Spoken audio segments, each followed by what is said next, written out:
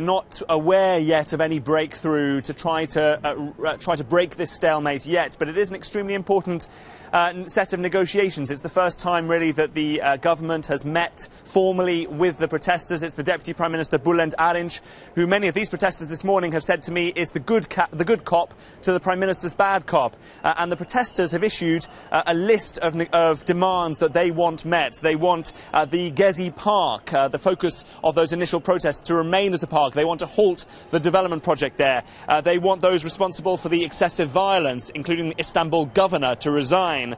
Uh, they want tear gas to be banned, uh, the protesters arrested to be released, and they want the ban on protests lifted. We'll have to see whether their demands are met in this all-important meeting this morning. If I just ask the uh, camera to pan across uh, Geetha to the main square here, Taksim Square, you can see uh, the protests gathering pace once again. Those in the white with the white banners are one of the trade union federations federations, uh, which has now joined this day of protests. Uh, that is the second trade union federation to take part in the protests in solidarity with the demonstrations. So you can see that this social unrest is far from abating. We'll have to see just how it moves on from here.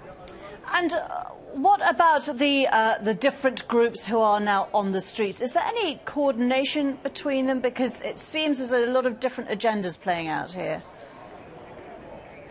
a lot of different agendas, and in a sense, that is their weakness and their strength. It is their weakness because perhaps they lack cohesion, they lack a kind of common goal, uh, but it's also their strength, Geetha, because I think it, it almost shows the government just how strong this opposition movement is. Uh, when I was down in the square this morning, I met a whole range of people, young and old, 16 year olds, 50 year olds, middle class, uh, leftists, uh, gay rights groups. This shows the kind of uh, breadth of opposition that there is to the government. Uh, they want uh, the government to stop the kind of authoritarian rule. They want a freer democracy, freer speech. Uh, they want a whole set of demands. But uh, clearly, I think that, that that breadth of opposition shows that it's difficult to pigeonhole them. And it shows really that while the Prime Minister uh, dis has dismissed them as extremists, as pillagers and looters, really uh, they are representing a huge swathe of society here, and they will not be silenced, at least not for the time being.